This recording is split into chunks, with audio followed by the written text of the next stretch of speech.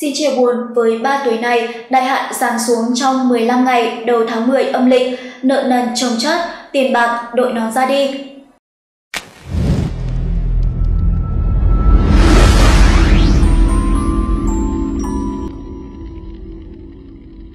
Xin chào quý vị, chào mừng quý vị đã quay trở lại với kênh Phong thủy Gia Cát, kênh thông tin hữu ích chuyên chia sẻ và truyền tải các kiến thức về tử vi, phong thủy và đời sống tâm linh. Đặc biệt được hướng dẫn và tư vấn bởi thầy Gia Cát, một trong những bậc thầy về phong thủy nổi tiếng tại Việt Nam. Quý vị thân mến, có lẽ ai trong chúng ta cũng đều mong muốn cuộc sống của mình ngày một tốt đẹp, làm ăn phát đạt, mọi sự đều thành công, suôn sẻ. Có lẽ ai trong số chúng ta cũng đều mong cầu cuộc sống của mình ngày một tốt đẹp, sức khỏe luôn dồi dào, làm ăn phát đạt, mọi sự đều thành công, suôn sẻ. Tuy nhiên, không phải ai mong cầu cũng được như ý muốn, sẽ có những con giáp gặp nhiều may mắn và cũng có những con giáp không tránh khỏi đại hạn do bị sao hung tinh chiếu mệnh mà tài vận bế tắc, kiếm tiền gian nan, vất vả, áo chẳng đủ mặc, không thể than trách được ai.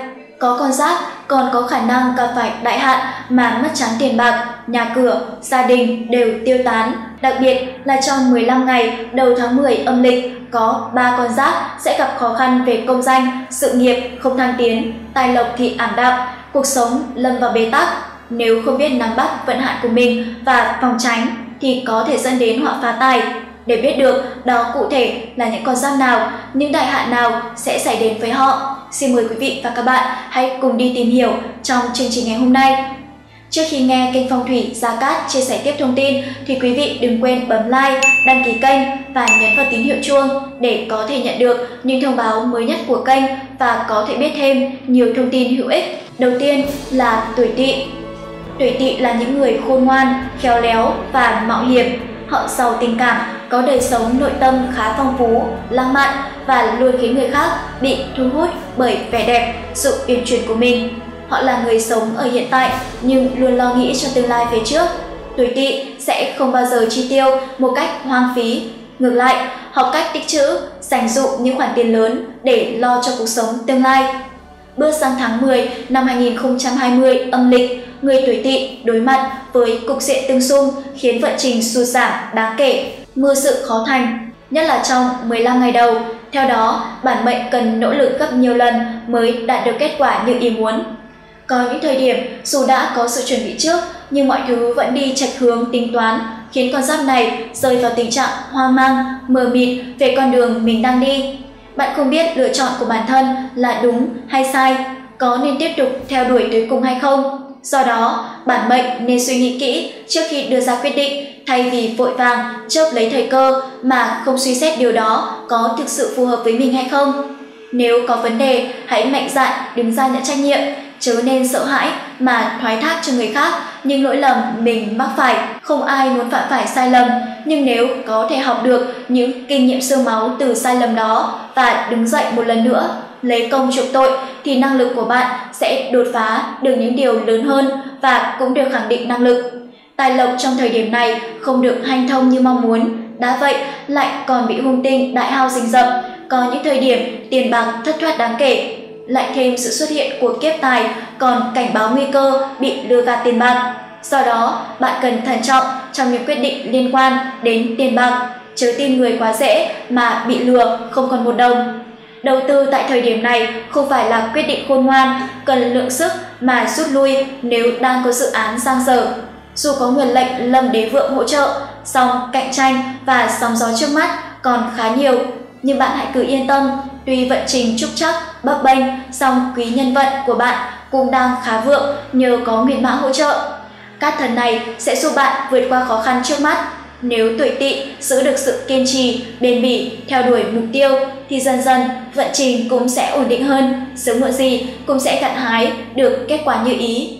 Chuyện tình cảm trong tháng cũng sẽ chẳng được suôn sẻ, đôi bên thường xuyên cãi vã, nói được đôi câu là lại mâu thuẫn, một trong hai bạn tỏ ý hoài nghi, ngờ vực về tình cảm của đối phương dành cho mình, khiến mối quan hệ luôn trong tình trạng căng thẳng, gây mệt mỏi cho cả hai bên. Hai bạn nên nói chuyện thẳng thắn với nhau, may ra cứu vớt được mối quan hệ. Hàng loạt áp lực trong cuộc sống từ công việc, tiền bạc, tình cảm đè nặng khiến trạng thái cơ thể của con giáp này bị ảnh hưởng không nhỏ. Tinh thần chịu nhiều căng thẳng là nguyên nhân chính khiến cơ thể mệt mỏi, không có sức lực. Tuổi ngọ Ngựa là con vật yêu thích sự tự do, hoang dã để được hòa mình vào thiên nhiên. Người tuổi ngọ vì thế mà rất năng động, nhiệt tình, thích những nơi đông người và đam mê khám phá những điều mới mẻ trong cuộc sống. Họ có thể một mình đảm nhận nhiều công việc mà không hề mệt mỏi. Người sinh năm ngọ giỏi trong giao tiếp và được nhiều người yêu quý, kính trọng. Xem tử vi 15 ngày đầu tháng 10 âm lịch, vận trình của người tuổi ngọ trong tháng đinh hợi nhìn chung chỉ chững ở một chỗ, không đến mức tồi tệ nhưng cũng không có được bước đột phá nào rõ ràng. Điều này khiến bản mệnh khá sốt ruột và đôi lúc còn nóng nảy, vội vàng. Mặc dù công việc vẫn khá êm ả và được hoàn thiện, song bước phát triển không quá lớn để đạt đến mức độ như mong muốn của con giáp này thì vẫn còn khá xa.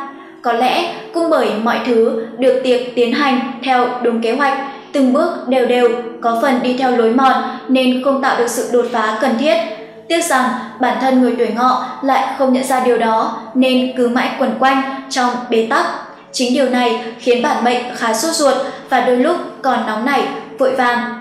Hơn nữa, trong quá trình làm việc, những chú ngựa cũng vấp phải không ít trở lực, gần như mọi thứ đều phải vất vả, nỗ lực một mình. Thậm chí, có những thời điểm bạn còn phải càng đáng cả phần việc của người khác chỉ vì tiến độ của đối phương quá chậm. Bạn lo ngại mình sẽ bị kéo xuống theo. Ngoài ra, sự xuất hiện của tỷ kiên cũng không thể xem thường. Hung thần này có thể khiến bản mệnh bị hiểu lầm, mang tính xấu. Trong số đó có cả những lời bịa đặt nhưng cũng có những lời nhận định đúng.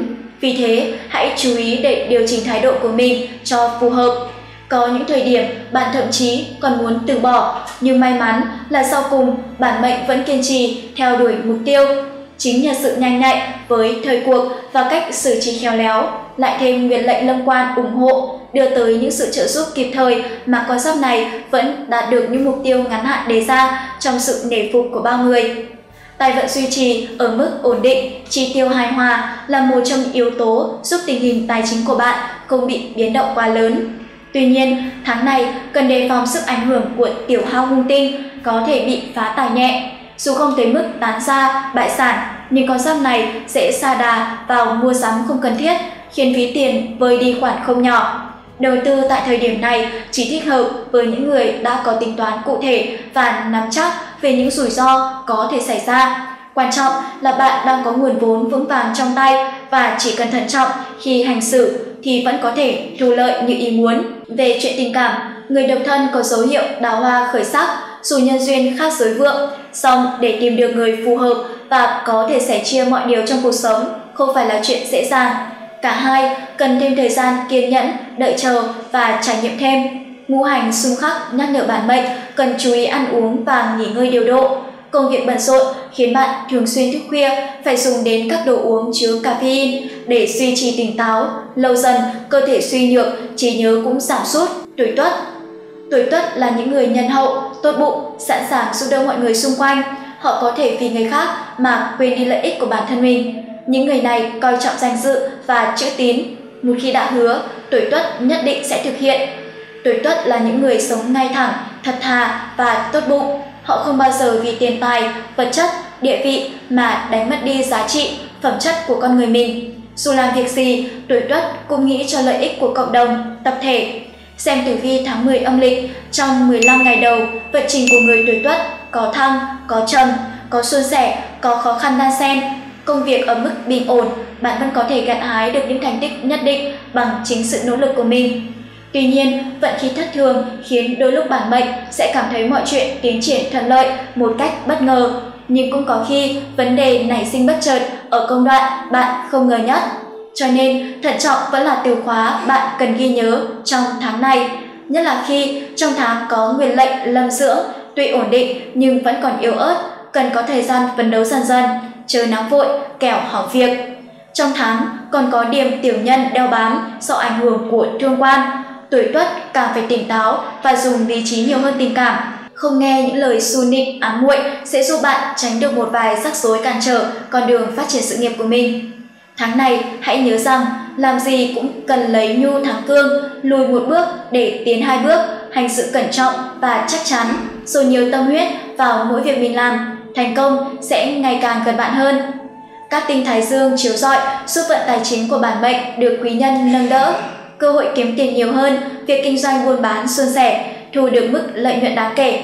Nếu có ý định đầu tư, con giáp này cũng có thể cân nhắc tiến hành ngay trong tháng nếu thực sự có số vốn phù hợp trong tay. Tuy nhiên, đầu tư mà dễ dàng kiếm lời thì mức độ mạo hiểm cũng tương đương.